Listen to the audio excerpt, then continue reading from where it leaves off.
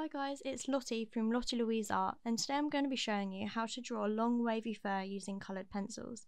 This type of fur I find particularly difficult and time consuming compared to other types of fur and I think this is because of the many layers that wavy fur has.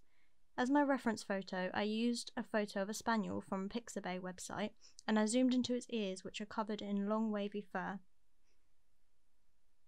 Here I'm just sketching out the main clumps of fur using a light brown pencil. When drawing long or wavy fur, you need to focus on the clumps of fur rather than every single individual hair.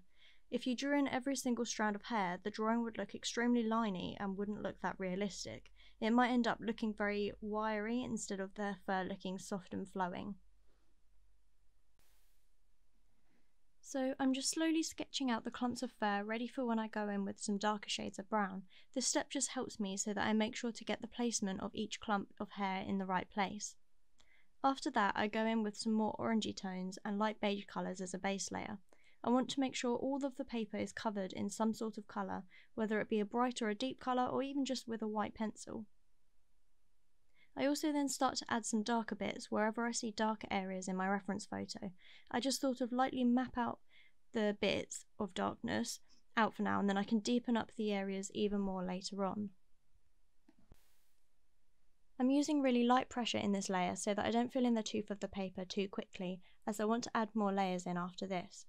I'm also using a sharp pencil as always as this also helps you to get more precise cleaner looking lines. Here I'm using a mixture of the Faber-Castell Polychromos, Caran d'Ache Luminance and Derwent Lightfast pencils.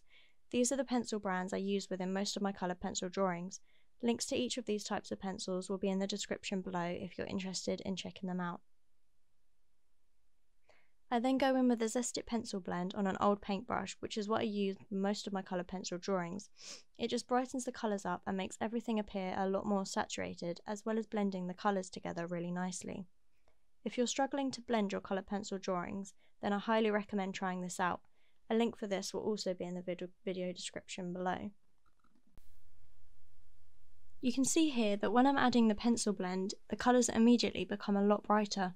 This will dull down a bit once it dries, but it's definitely still be a lot brighter than it was before the solvent was added.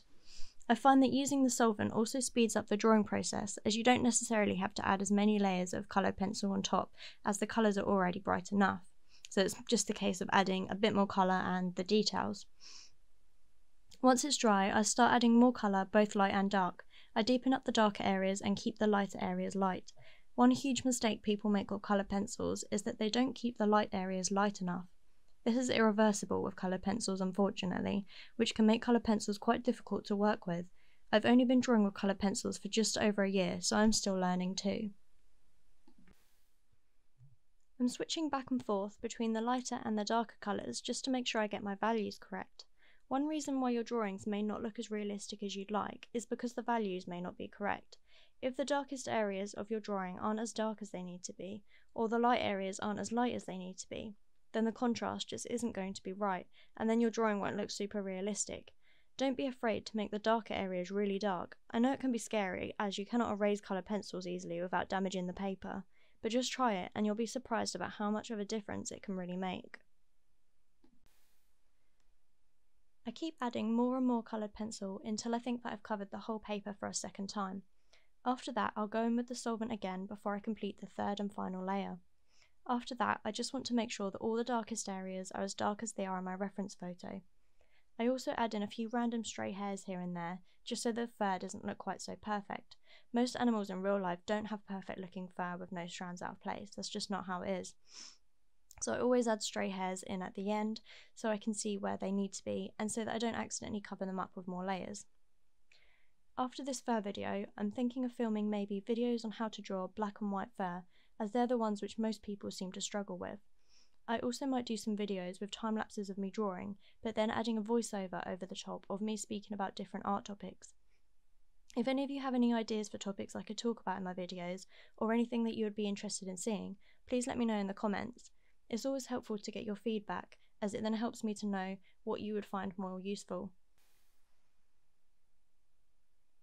Here I'm adding in some white to burnish some areas and lighten them up just a little bit. The white doesn't show up too much, but it lightens the area up subtly. After that, I just add in some more stray hairs and make some final adjustments before adding a final layer of solvent on top. I won't add much more after the final layer of solvent, I only add anything else which I think needs tweaking slightly. So here is what the final bit of fur looks like. I hope you found this useful.